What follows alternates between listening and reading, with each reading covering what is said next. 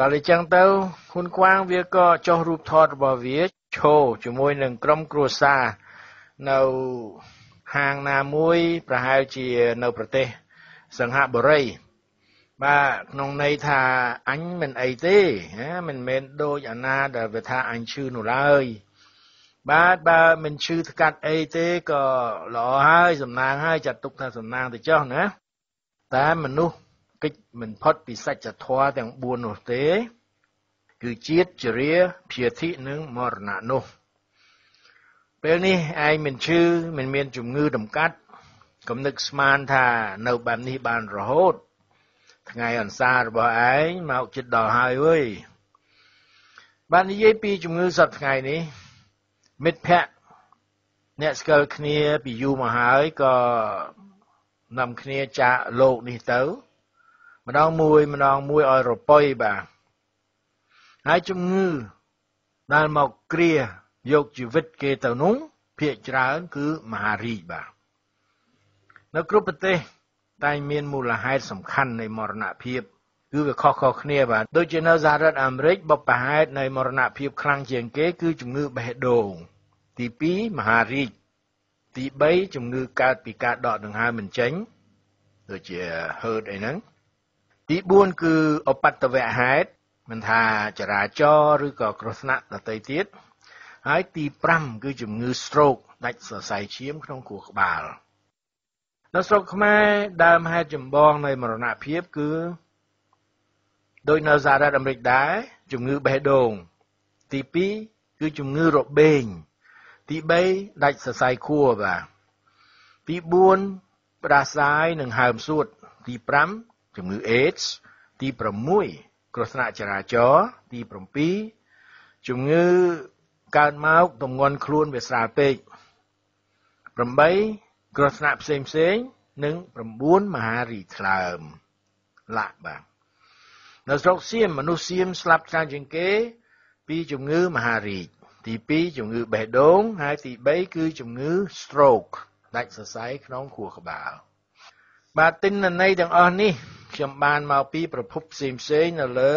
ប្រព័ន្ធអ៊ីនធឺណិតហើយគួរឲ្យកត់សម្គាល់ថាជំងឺមហារីកនៅស្រុកខ្មែរស្ថិតនៅស្ទើរតែចុងពោចគេ បាទខណៈដែលនៅសហរដ្ឋអាមេរិកមនុស្សស្លាប់ដោយមហារីកមកទី2ហើយនៅស្រុកសៀមមកទី1តែម្ដង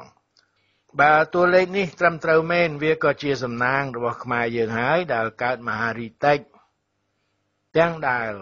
អ្នកកើតជំងឺថ្លើមនឹងមានច្រើនណាព្រោះថាខ្ញុំជួបអ្នកណាក៏គេប្រាប់ថាគេឈឺថ្លើមបាទ hepatitis A B ស្អីហ្នឹងឬតែអញ្ចឹងហើយអាជំងឺថ្លើមនេះនៅទីបំផុតវាក៏នឹងคล้ายទៅជាមហារីកបាទនៅស្រុកខ្មែរសម័យខ្ញុំនៅក្មេងៗរបស់ដែលញាតញោមចូលចិត្តប្រគេនលោកសង្ឃច្រើនជាងគេគឺបារីបាទការនេះធ្វើឲ្យ លោកសង្ឃខ្មែរសម័យនោះឆាន់បារីញៀនបារី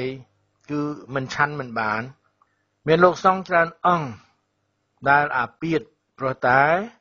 ការសែបសោយបារីដែលញាតញោមបានប្រគេនកាលពីខ្ញុំនៅរៀនខ្ញុំក៏ចេះជក់បារីខ្លាំងណាស់ដែរបាទពីព្រោះមានបរិយសម្បូរហូហៀ លោកតាលោកឆាន់តែម៉ាក់ល្អល្អបាទដូចកូតាប555អីអញ្ចឹងឬក៏ក្រាវ៉ែនអាយណោះបាទចំពោះពួកឆ្នាំខ្លាំងខ្លាំងផ្សេងផ្សេងទៀតដូចជាបាយិនបាយោញអីហ្នឹងគឺពួកយើងបាទអាសេះបាតកត់ក្របីយកទៅបឺតធ្វើរំភើយព្រោះឃើញគ្រូគ្រូពួក professor បៀមបរិយឲ្យថ្លែពេលបង្រៀនកូនសិស្សបាទធ្វើឲ្យយើងគិតថាគ្រូយើងជាពិសេសគ្រូ physics គ្រូម៉ាត់អីហ្នឹង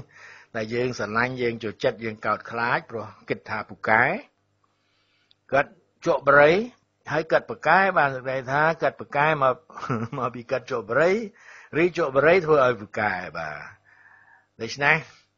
យើងក៏ចង់បកកែដែរក៏នាំគ្នាជក់បរិយអានេះកំហុសមកពីគ្រូ ដល់ដឹងឬមិនដឹងខ្លួនទេយើងចង់បកកែដោយគ្រូឃើញគ្រូជក់យើងក៏ជក់ដែរ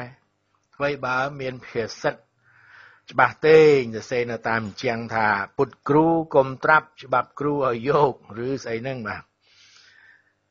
បាទទម្រាំនឹងដកខ្លួនចេញលេងជក់បរិយបានក៏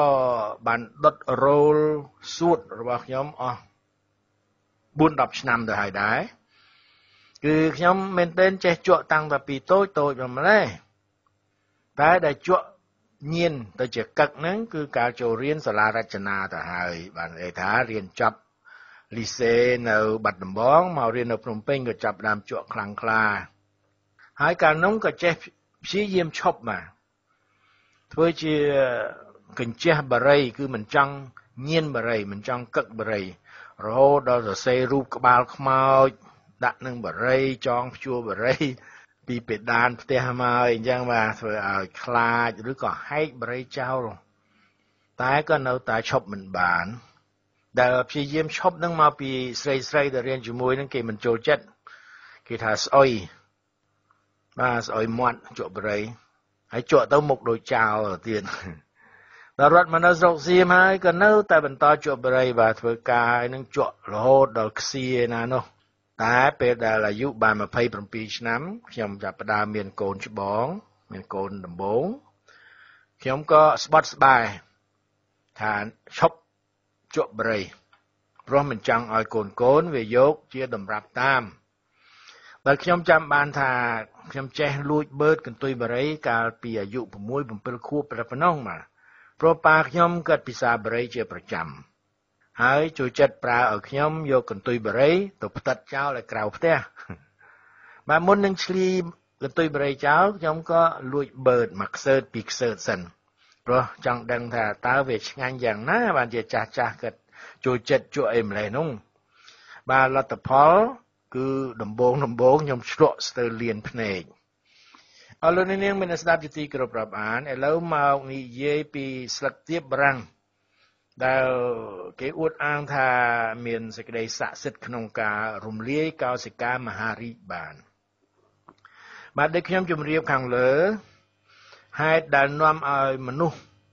សៀមស្លាប់ច្រើនជាងគេយោងតាមស្ថិតិផ្លូវការគឺជំងឺមហារីកដែលតំណាងឲ្យជាង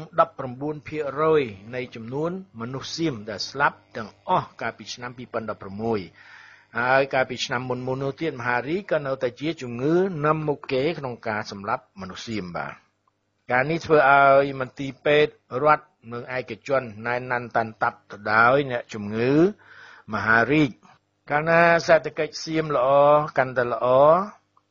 ក៏មានអ្នកមានធូធាកាន់តែច្រើនហើយពួកអ្នកមាននឹងពេលដែលអ្នកជាទីគោរពជាឪពុកម្ដាយឬអ្នកដែលគេស្រឡាញ់នឹងឈឺមានជំងឺ មហារីកគេក៏នឹងនាំទៅព្យាបាលតាមមន្ទីរពេទ្យ private បាទឯកជន ដែលយកថ្លៃថ្លៃណាមួយថ្ងៃមួយថ្ងៃ10000 20000ឡើងទៅបាទកាលពី4 5ឆ្នាំមុនស្រុកសៀមមានល្បីថាស្លឹកទៀបបារាំងអាចព្យាបាលមហារីកបានឆុតឆាប់ក៏មានការងាកមកទទួលទានស្លឹកទៀបបារាំងតាមតាមគ្នាក៏ប៉ុន្តែស្លឹកទៀបបារាំងពូកែ ខាងកំចាត់កោសិកាមហារីកមែនឬមិនមែនពួកពេទ្យគេមិនសូវជាចង់ឲ្យមនុស្សជឿរឿងនេះប៉ុន្មានឡើយ គេនៅតែពឹង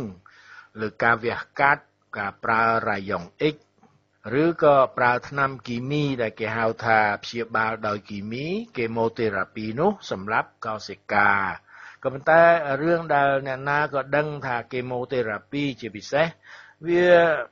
សម្រាប់ ទាំងកោសិកាអាក្រក់ដែលនាំឲ្យកើតមហារីកទាំងកោសិកាល្អនៃអវយវៈក្នុងខ្លួនមនុស្សបាទទោះជាខ្លួនពួកពេទ្យនឹងក៏ទទួលស្គាល់ទៅហើយថាអត្រាជាសះស្បើយដោយគីម៉ូទេរ៉ាពីគឺ50 50បាទ50 50ប៉ុណ្្នឹងទេតែពាក់កណ្ដាលទេហើយអ្នកដែលអាចទ្រាំនឹងការព្យាបាលតាមវិធីនេះបានតើតែ មានរាងកាយមមួនខ្លាំងក្លា ពុំនោះទេដួលដូច្នេះទំនោរប្រើរុក្ខជាតិឱសថមកព្យាបាលក៏ចេះតែកើនឡើង ក្រោយដែលមានអ្នកក្រោយដែលមានអ្នកជំងឺម្នាក់ហើយម្នាក់ទៀតអះអាងថាគេជាសះស្បើយពីមហារីកក្នុងរយៈពេលតែមិនប៉ុន្មានខែ ក្រោយពីបានរក្សាព្យាបាលខ្លួន តាមមន្ទីរពេទ្យទំនើបអស់លុយមិនដឹងជាប្រមាណកញ្ឆេទៅហើយ ហើយធ្វើរាយយងអិចផងគេម៉ូតេរ៉ាភីផង តែមិនជានោះបាទអាជ្ញាធរខាងត្រួតពិនិត្យប្រសិទ្ធភាពថ្នាំនៃក្រសួងសុខាភិបាលសៀមក៏បានធ្វើការពិសោធន៍បាទនៅក្នុងឡាបូហើយក៏អះអាងថាស្លឹកទៀបបារាំងដែលសម្ងួតហើយ មានសារធាតុដែលសម្រាប់កោសិកាមហារីកក្នុងថ្លើមបានមែន ហើយក៏មិនប៉ះពាល់ដល់កោសិកាថ្លើមនោះថែមទៀតគេអះអាងទៀតថាស្លឹកទៀបបារាំងស្រស់អាចសម្រាប់កោសិកាមហារីកបាន តែមិនឆុតឆាប់ដូចស្លឹកស្ងួត លើសពីនេះទៅទៀតដែលជាគុណសម្បត្តិអវិជ្ជមាន គឺអាស្លឹកស្រស់ហ្នឹងវាសម្រាប់ទាំងកោសិការបស់ថ្លើមនោះទៀតផងយ៉ាងណាក៏ដោយ អ្នកធ្វើការពិសោធន៍ទាំងនោះ គេបញ្ជាក់ផងដែរថាលទ្ធផលដែលគេរកឃើញនេះគឺធ្វើនៅក្នុងបំពង់កែវនៅក្នុងបន្ទប់ពិសោធន៍អត់មែនយកទៅធ្វើលើអ្នកជំងឺដែលកើតជំងឺមហារីកនោះទេនៅឯប្រទេសអង់គ្លេសក៏មានការពិសោធន៍ដូចគ្នានេះដែរតាំងតែពីឆ្នាំ2008បាទជិត10ឆ្នាំដែរគេអះអាងដូចគ្នាថាគំហើញទាំងនេះបានមកពីការពិសោធន៍ក្នុងបំពង់កែវ in vitro បាទ តែគួរឲ្យឆ្ងល់គឺហេតុអ្វីបានជាគេមិនបន្តធ្វើការពិសោធន៍ឬ test នេះទៅលើបុគ្គលជាមនុស្សបាទខ្ញុំឮថាធ្វើតែលើកណ្ដុរអឺគោបាយឬក៏ guinea pig ឬក៏ក្នុងអឺបំពង់កែវមិនឃើញធ្វើនឹងមនុស្សមកពីស្អីជិត10ឆ្នាំទៅហើយគួរតែធ្វើបានហើយ មានអត្ថបទអួតសរសើរគុណភាពរបស់ទៀបបារាំង ថាខ្លាំងជាងគីម៉ូទេរ៉ាពីដល់ទៅ10000ដង គឺស័ក្តិសិទ្ធិជាងហើយថាមានក្រុមហ៊ុនផលិតឱសថទំនើបមួយក្រុមហ៊ុន គេចាំទប់ស្កាត់មិនឲ្យទៀបបារាំងដែលភាសាប្រេស៊ីលហៅថា Graviola អង់គ្លេសហៅថា Soursop បាទទៀបបារាំងនេះមែនទែនមកពីអាមេរិកខាងត្បូងបាទមានច្រើននៅ ប្រេស៊ីលអាហ្សង់ទីនអីហ្នឹងដូច្នេះនៅអាមេរិកអាចរកបានងាយបាទក្រុមហ៊ុនហ្នឹងគេបានបណ្ដាក់ទុនរាប់ពាន់លានដុល្លារទៅហើយ ក្នុងការស្រាវជ្រាវរករូបមន្តថ្នាំ ដែលចម្លងចេញពីអនុភាពរបស់ទឹកទៀបបារាំងនេះ តែរោគមិនចេះបានសោះដូច្នេះ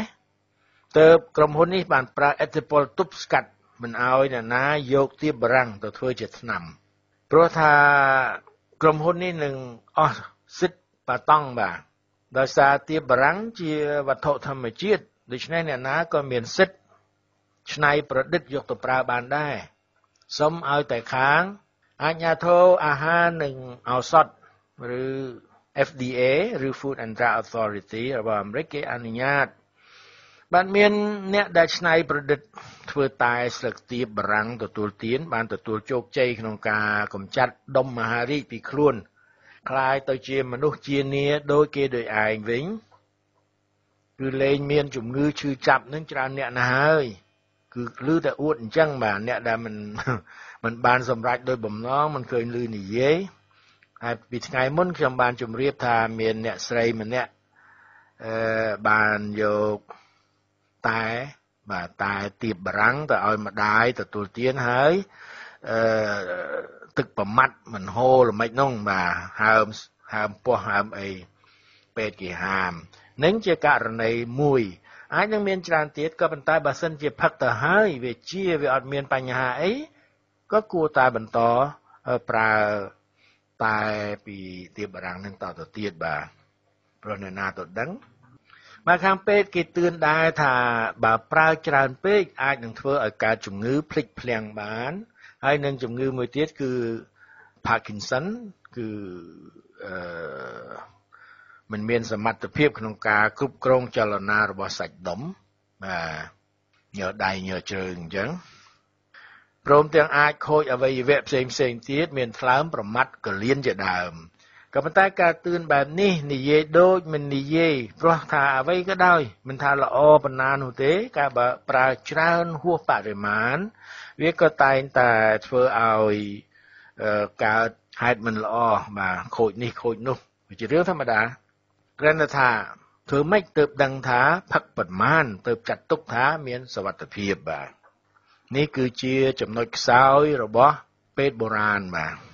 គឺយើងមិនសូវជាដឹងចំនួនពិតប្រាកដអាចនឹងនិយាយតាមតំណមគេគេថាទឹក4យកទឹក1អីចឹងបាទមានបរិះម្នាក់កើតមហារីកសួតដោយលោកគឹមច័ន្ទវងដែរគាត់បានធ្វើការវះកាត់អស់សួតមួយជាហៀងប្រើរ៉ាយ៉ុង X ក៏ប្រើធ្វើគីម៉ូថេរ៉ាពីក៏ធ្វើតែនៅតែមានកោសិកាមហារីកនៅក្នុងឈាម ទើបលោកសាលបងផឹកតែស្លឹកទៀបបារាំងពេលនោះទើបតែនឹងល្បីថ្មីថ្មីថាពូកែឈុតឆាប់គាត់ប្រើស្លឹកទៀបស្រស់បាទមុនដំបូងប្រើស្លឹកទៀបស្រស់យកមកដាំអឺឲ្យពុះហើយយកទឹកផឹកព្រោះគាត់គិតថាស្រស់វាល្អជាងស្ងួតដូចយើងទទួលទានបន្លែបន្លែស្រស់តែងតែមានប្រយោជន៍ជាងបន្លែជ្រក់ឬក៏ស្វិតស្រពោននោះឃើញថាទប់ទល់ មានឲ្យមហារីកនៅលើសួតដែលនៅសល់ម្ខាងទៀតនឹងវារីកធំក៏ប៉ុន្តែនៅតែមានកោសិកាមហារីកនៅក្នុងឈាមក្រោយមកមានគេប្រាប់ថាឲ្យយកស្លឹកស្ងួតណាស្លឹកស្ងួតកុំយកស្លឹកស្រស់ស្លឹកស្ងួតទៅឆុងទៅកាត់ធ្វើតាមហើយកោសិកាមហារីក៏ចាប់ផ្ដើមរួញចុះរួចហើយក៏បាត់ទៅព្រមទាំងគ្មានកោសិកាមារីនៅក្នុងឈាម បាទឃើញថាម្នាក់នេះក៏បានសម្រេចដោយប្រាថ្នាមែនពេទ្យនាំគ្នាភ្ញាក់ផ្អើលដែរពេទ្យដែលពិនិត្យព្យាបាលគាត់នឹងហើយវិធីធ្វើក៏មិនពិបាកអ្វីទេ បើដាំទៀបបាន បាទបើដាំទៀបបារាំងនៅគៀនផ្ទះហើយបេះស្លឹកយកមកហាលខ្យល់កុំហាលថ្ងៃអ្នកខ្លះគេមានម៉ាស៊ីនសម្ងួត គេក៏ប្រើម៉ាស៊ីនសម្ងួត ហើយកិន ឲ្យទៅជាកំតិចល្អិតល្អិតច្រកទៅក្នុងថង់ស្បៃមុងតូចតូចហើយយកទៅជ្រលក់ក្នុងទឹកក្តៅបាទឆុងទឹកក្តៅដូចទឹកតែដូចយើងតែអញ្ចឹងទទួលទានព្រឹកល្ងាច